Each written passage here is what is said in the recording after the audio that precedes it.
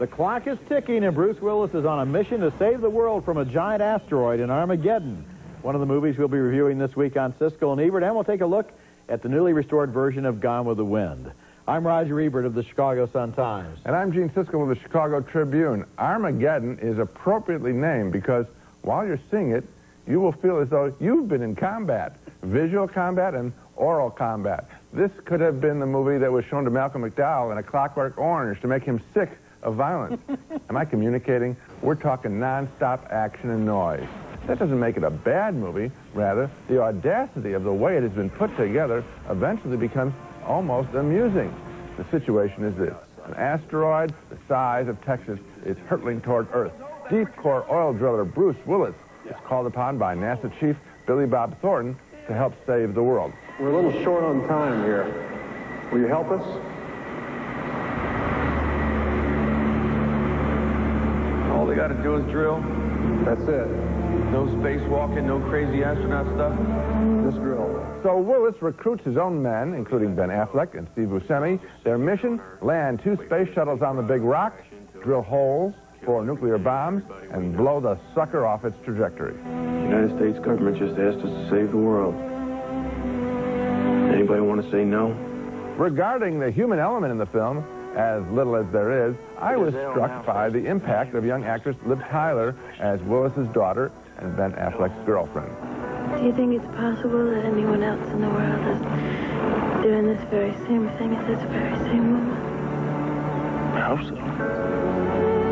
Otherwise, what the hell are we trying to save? Now, each element of their plan serves as its own action film, and director Michael Bay, whose last picture was The Rock, which also was strikingly noisy, dares us to relax in Armageddon.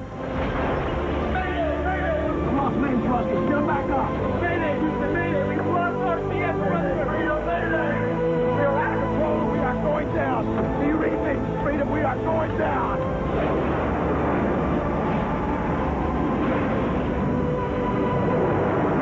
Armageddon is blaringly intense. By the end, I didn't care whether Earth was saved as much as I wanted to survive myself.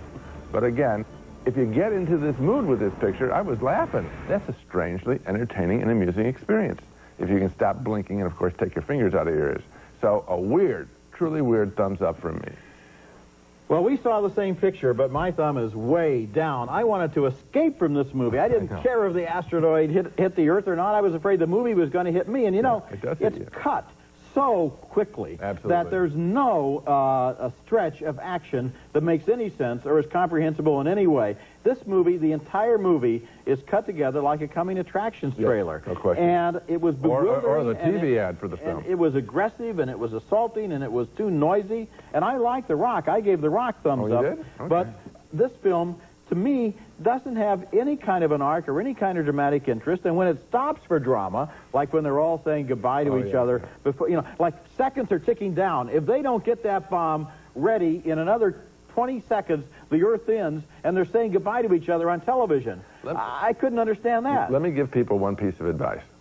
If you go to a multiplex and it has Armageddon in it, do not go to a movie next door because at there will be two down. there will be tremendous audio bleed. But it's, it's assaulting. yeah, It yeah, really- well, I, it, it was too much for me. I, I just felt that it was uh, but I was smiling. overkill. Okay. A strange split vote on Armageddon. The film's sound and fury eventually won me over in a laughing way, but Roger disliked it for exactly the same reason.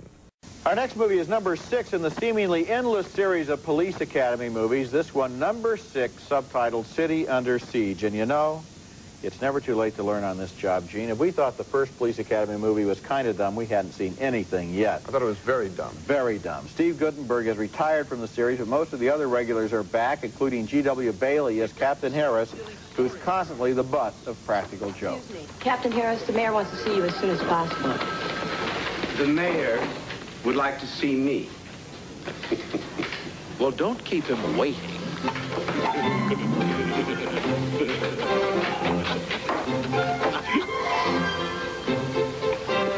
Excuse me?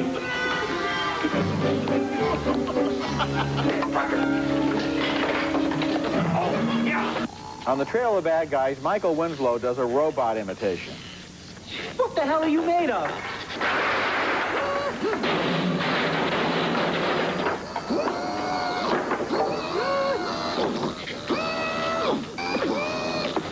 Target human. Mission destroyed.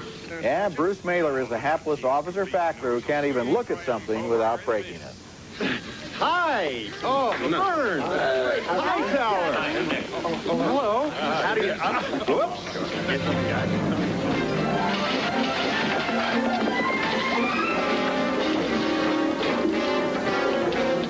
I went to see Police Academy 6 on a Saturday matinee with a lot of little kids in the audience, and about halfway through the movie, I began to feel a certain nostalgia. I realized I was remembering the Saturday afternoons when I was a kid and I used to go to the Bowery Boys or Abbott and Costello movies. The Police Academy movies are sort of in the same tradition, dumb, but cheerfully dumb with a lot of goofy slapstick and silly sight gags. They're aimed at a young audience. They're made for a young audience. In their own way, they succeed in creating dim-witted comedy in the Bowery Boys tradition. It's just that I'm not one of those little kids anymore. This movie is not made to be seen by or maybe even to be reviewed by adults. Well, I can only tell you, uh, I won't review the audience except to say that um, I saw it late night and there were adults in the theater. Um, looking at the picture, I was astonished as I have been throughout the series at just how stupid the films are. Um, I don't think they're as good as Abbott and Costello, but I, I, I just no, no, no, I, I, I, just don't laugh. I, I, I think they're kind of cheap. Um, I think that they hold shots that are hold them far too long, where there should be. I suppose maybe they're waiting for a laugh. I don't find it myself filling it with laughs. Uh, this movie came out. The first one came out the same time as The Right Stuff. I thought The Right Stuff was going to be a smash hit, and uh, I've always associated the Police Academy series with The Right Stuff. They came out at the, roughly the same time. This one went to the moon. Right Stuff didn't. Yeah. And uh, well, I was just I, trying to, I'm just trying to categorize this movie, kind of a generic approach to film criticism. Sure, None of them are as good as Abbott Costello, but they're kind of on the level of the Bowery Boys. And one footnote that we have to put in here. On this show, we have constantly over the years referred to the fruit cart scene, the obligatory scene in a chase where the car races onto the sidewalk and knocks over a fruit stand and races away, and the fruit vendor is shaking his head at the departing car. In this scene, there is a tribute to our criticism. There's Gene and Roger's fruit stand and the big, uh, enormous, big, big foot truck with the 20-foot wheels does not run over it. And for that, I suppose, suppose we're supposed to be grateful, but you know, I'm not really that grateful. I don't know how you feel, but... I wasn't grateful. Um, I mean, it was amusing, but uh, uh, that's about the only smile I had in the whole film. Tango and Cash, a lethal weapon wannabe about two cops that is ultimately an exhausting, unhappy entertainment thanks to a hyper-violent story that has feuding cop partners Sylvester Stallone and Kurt Russell emptying a virtual munitions factory firepower into a gang of drug-dealing mobsters led by Jack Palance. And the boys, and these truly are boys, meet cute as they are both sent from competing police districts in Los Angeles to the same drug deal. They know of each other's drug-busting reputations. You know me, huh? Yeah, you're the second best cop in LA. That's funny. I heard the same thing about you. The drug dealers soon arrange through crooked cops to frame both Tango and Cash, and that forces the boys to bicker even more. My lawyer wants me to cop a plea. Yeah, mine too. 18 months, Lompoc Federal Country Club. I think you'll love it. I understand they open the gym at 5 a.m. You can start pumping early. Predictably, the movie ends with its biggest display of firepower as the boys are outfitted with a souped-up RV in which they attack the gangsters' headquarters.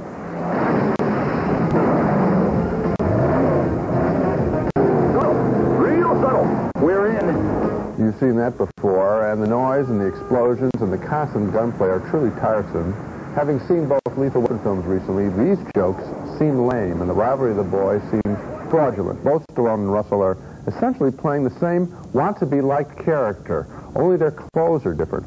For all of the action, Tango and Cash is a boring film, and that's important because in Lethal Weapon pictures, they were two oh, different characters. See, it's not that I don't like movies about two cops and lots of special effects. It's just that I don't like bad movies about two cops and lots of special effects. And Tango and Cash is a waste of valuable electricity.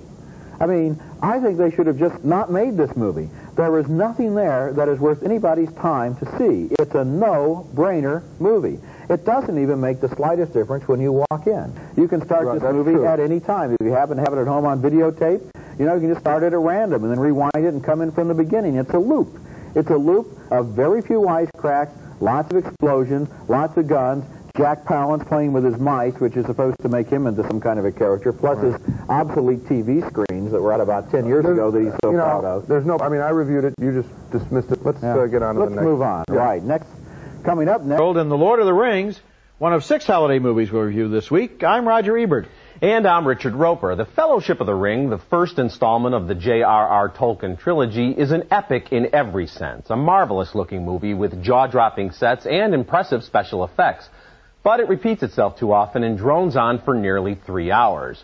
The brooding Elijah Wood of The Ice Storm and the husky Sean Astin from Rudy are curious choices to play Frodo and Samwise, who must destroy the ring that is the source of all evil in a land called Middle Earth. It's some form of Elvish. I can't read it. There are few who can. The language is that of Mordor, which I will not utter here. That's Ian McKellen as Gandalf oh. the Grey, the good-hearted wizard who guides Frodo through his perilous quest. Viggo Mortensen is Aragorn, aka Strider. Are you frightened? Yes. Not nearly frightened enough. I know what hunts you.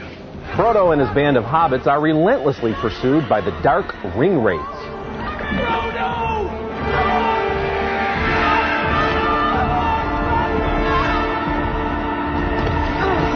Tolkien's Lord of the Rings books have enchanted tens of millions of readers. But as a movie, The Fellowship of the Ring gets bogged down under the weight of all those mystical speeches and self-consciously quirky characters. You've got nine members of the Fellowship, dueling wizards. You've got an elf princess played by Liv Tyler, an elf queen played by Cate Blanchett. Just too many characters for me to care about. On and on it goes, only to reach an abrupt non-ending straight out of a Saturday afternoon serial. So you're giving it a thumbs down? I'm giving it a thumbs down.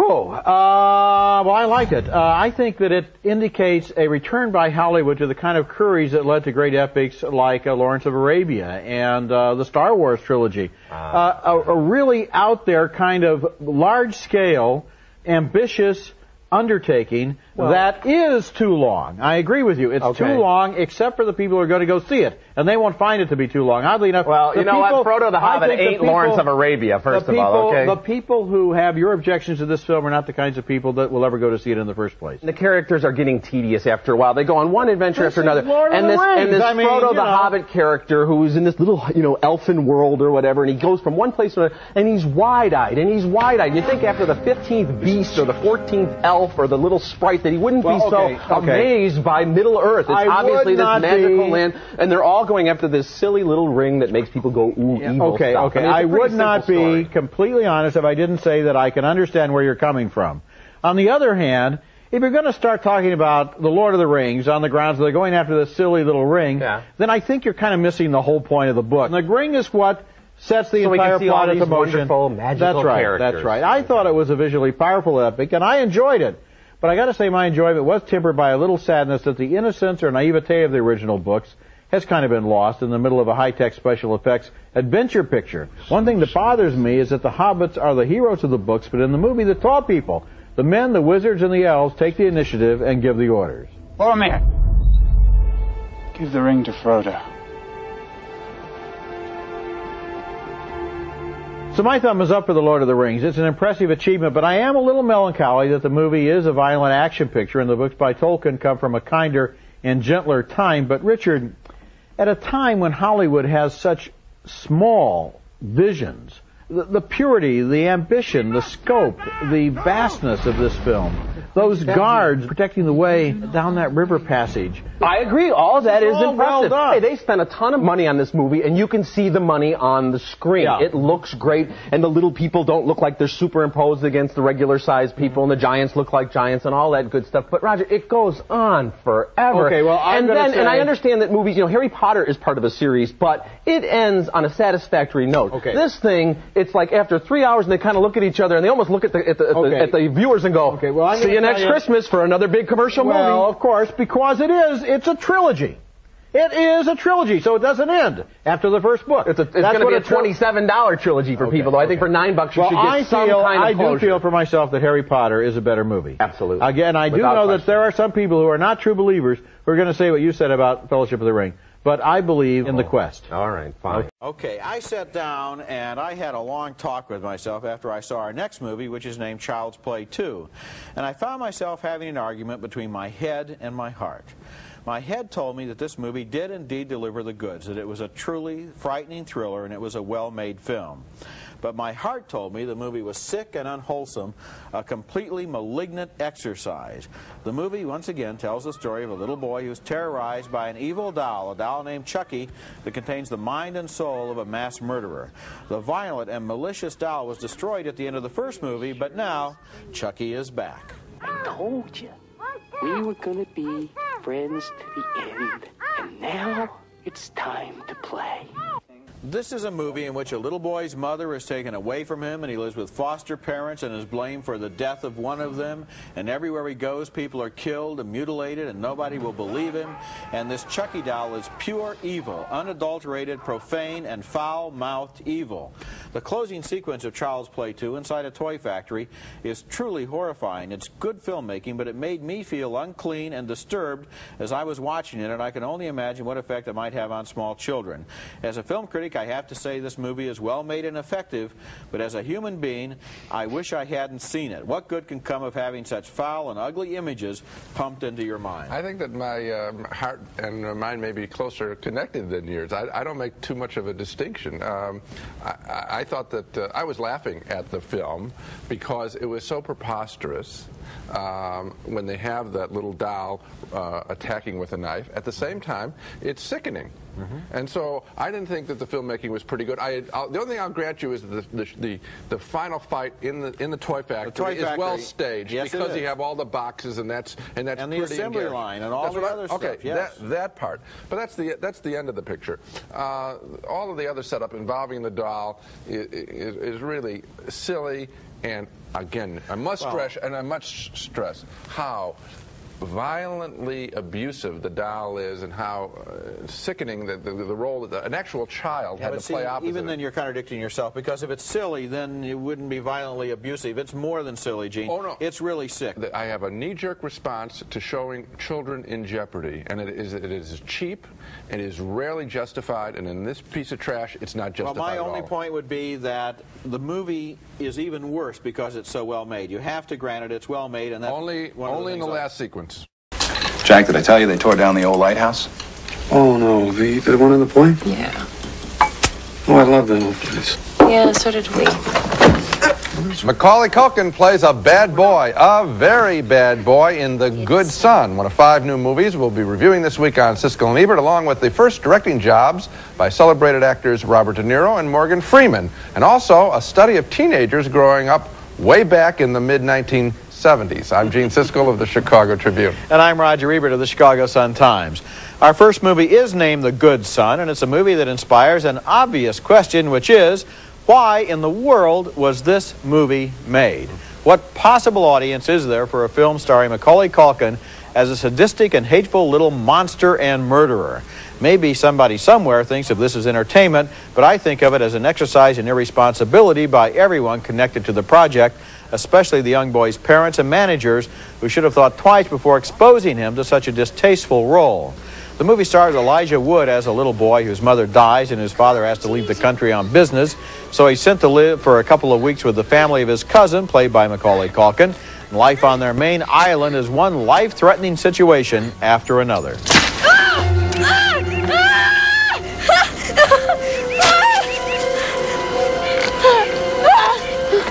I let you go, you think you could fly? This little kid is full of tricks. Here they're almost savaged by a killer dog. And in a later scene, Culkin will actually kill that dog before his cousin's eyes. And what about this scene? Culkin has just dropped a human dummy on the highway, causing a multiple car traffic pileup. Do you know what you did? Hey, come on. We did it together. You could have killed people. With your help.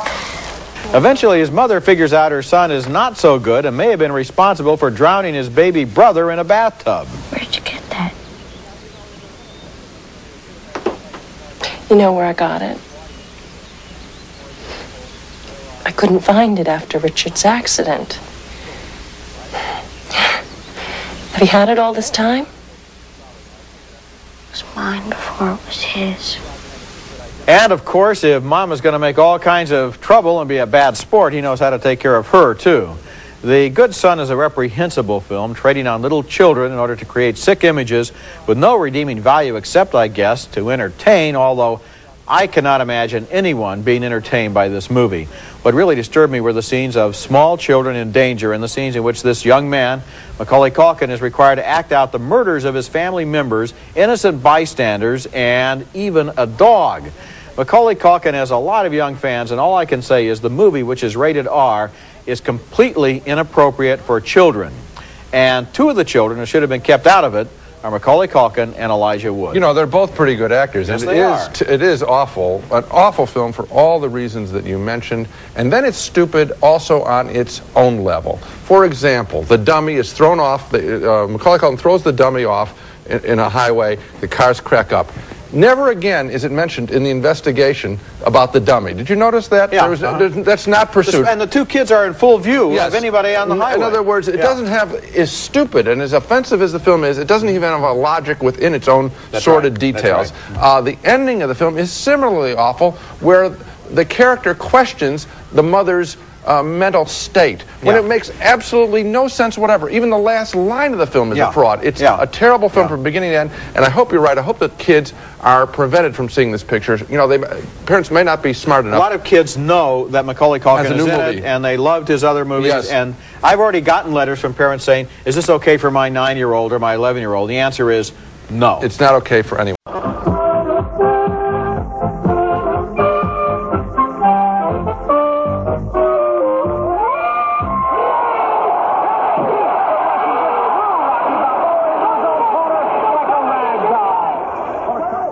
Can't keep a good man down, especially Rocky Balboa. He's up and at him again, fighting a Russian champion in Rocky IV. One of four new movies we'll be reviewing this week on At the Movies, the movie review program. I'm Gene Siskel, film critic of the Chicago Tribune. And I'm Roger Ebert, film critic of the Chicago Sun-Times. As most everyone knows by now, in Rocky IV, Rocky Balboa, the working man's hero, fights a machine-like Russian champion named Ivan Drago. How tough is Drago? This tough. But shall we have a demonstration? A normal heavyweight averages 700 pounds of pressure per square inch.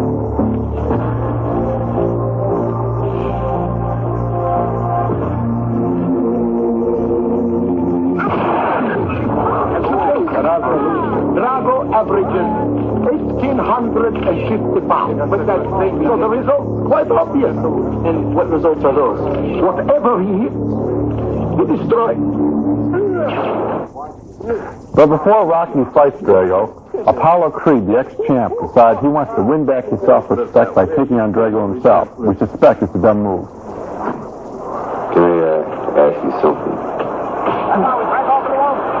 Well, you know, the fight you're having against the Russians, you think maybe it ain't against him? If it's not him, Stallion, who's it against?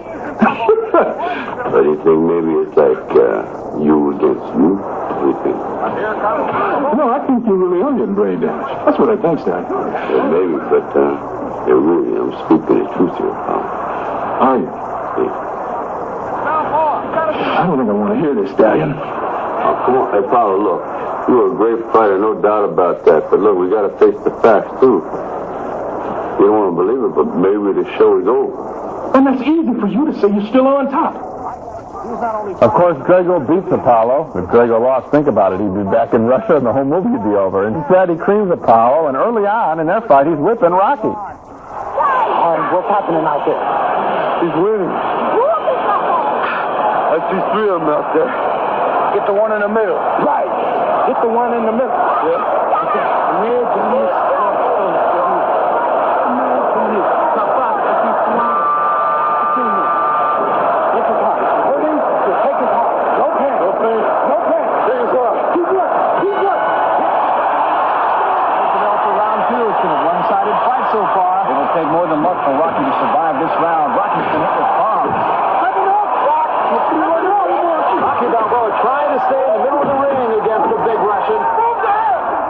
Now, this may surprise you, but I really like Rocky IV a lot. That I- does surprise me. I was amazed. Well, then I'm going to be amazed at you. Let me explain why. I knew what was going to happen in this picture. I mean, everyone knows what's going to happen in this picture, yet I got caught up in both of its fights. I even got a little bit caught up. I, this is almost embarrassing to admit. In the 15th round of that fight, I thought somebody's going to play a trick on me. I got caught up in it. I enjoyed Rocky's brief moments with his wife and his son, which I had wanted in Rocky 3 and didn't get enough of. In fact, my only complaint is that there weren't enough of those scenes in this Rocky 4. The original Rocky worked because of its love story, I think, as well as its boxing. And Stallone, the writer and director, has de-emphasized the love angle throughout all of the series, and to their detriment. But what he does know how to do, and this is what makes this film work, is create a great, colorful villain. First, the brash Apollo Creed in number one. Then Rocky 2, my favorite, the villain was really Rocky himself, his overblown ego. Then in Rocky 3, that mad dog, Clubber Lang, played by Mr. T. Now, even Drago, well played by the Adonis-like Dolph Lundgren. He's a great villain, and we sit back there and enjoy this film. It's a great hour and a half to eat popcorn by, and I want more because he can make another great villain. I want Rocky Five. I don't want Rocky Five. Please don't give me Rocky Five. I thought oh, you'd rather have Halloween Five. Or I wouldn't rather have Halloween Five, and I don't want Friday the Thirteenth Five. Okay. What I'm amazed about is that you wanted Rocky Four. This yeah. movie is the bottom of the barrel. There, every at the beginning, the first half hour, every scene is obligatory. He has to check in with Adrian. He has to talk to his brother-in-law. Here's little Rocky Jr. What would you have him Here's do? Meet a whole bunch of new people? Well, I think that would be interesting. yes, as a matter of fact. He had a great idea in 1976 and made a great movie based yes, on that did. idea about a real human being named yeah. Rocky Balboa and his touching love affair with this girl. Now yes, Balboa has turned into this egotistical monster who takes over the entire movie. The other little people in his life have their run-ons. Then there's the fight at, uh, at the two-third, at the one-third mark where somebody loses, yeah. and the fight is the two-third mark okay. where Rocky you haven't told me This movie is absolutely formula. Yeah. It is predictable. No. It is uninspired,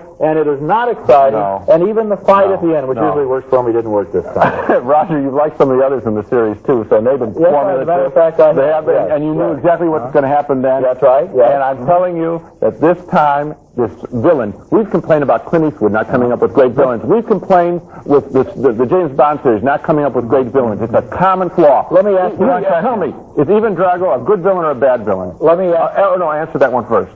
Uh, as, he's a moderately interesting villain, but let me ask you an Thank even you. better Thank question. you. How come he never has a single scene alone with his wife?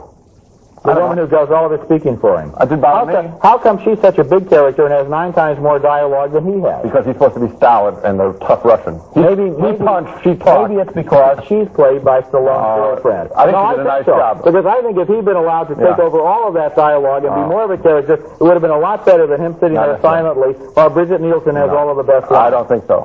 Ah, you I- don't I think said- so? Well, I do no. think so. As I said, he punched, she talked. Coming up next at the Real movies, subtle. Real Mother subtle. Fears that are adopted. I love it in the kitchen, baby. You know that. Richard Dreyfuss and Holly Hunter are lovers separated by dangerous work and then by life itself in Steven Spielberg's Always. always makes the kind of grand emotional gesture that Steven Spielberg likes in his films, and it's filled with the sensational special effects that he's famous for. But somehow, they don't add up to much. The whole movie feels like a story gimmick without much heart. And the special effects are possibly even overdone this time. There are scenes here where the planes are plowing through blazing treetops like a lawnmower, and it's so unlikely that they don't crash right then and there that the whole movie loses credibility. Another problem, the movie's dialogue seems dated and artificial, especially when Dreyfuss comes back from the dead and starts giving his advice to the living. The bad news is this is one of Spielberg's weakest movies since his comedy, 1941. It is a weak film, and I think uh, I want to focus on the dialogue trouble that you talked about. What annoyed me about the film, the first two-thirds of the film, is that Richard Dreyfuss, with his whiny nasal voice, and Holly Hunter with her whiny nasal voice, which can be very good in sort of a contemporary story and maybe when they're apart from each other, but when those two are going at it in what is going to be sentimental kind of film, it doesn't fit at all. Hmm. And I saw all of them just trading wisecracks for the longest time. Very artificial stuff. When I know, and you can tell that this movie is going to move to an emotional conclusion. The conclusion is kind of sweet. There's a final statement said by Dreyfuss about love withheld is love that you're going to regret withholding all your life. Mm-hmm. So deliver it now. Another problem in this movie, the original film was about people giving their lives in war mm-hmm. for our country in mm-hmm. World War II, a war we wanted to win, a war we believed in. Now they're fighting fires. Now it's important to fight forest fires.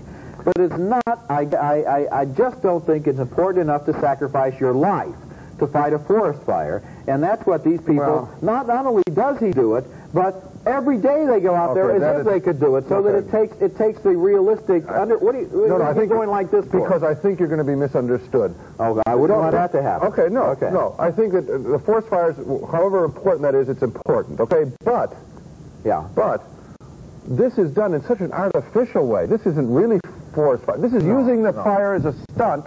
The, the setting uses it Uh-huh. as a stunt for this kind of emotion. The forest, actual forest fighting, uh, firefighting is uh, forest fighting. Uh, firefighting. That's a worthwhile task. Yes, but Don't it's not worth sacrificing your life for. It's not like World War II, and that's why the basic motivation is missing. I think it's the way it's photographed as a stunt rather than a real activity. Okay, well, I'm glad you kept anyone from misunderstanding me, and now that they understood you, we're way ahead. Okay.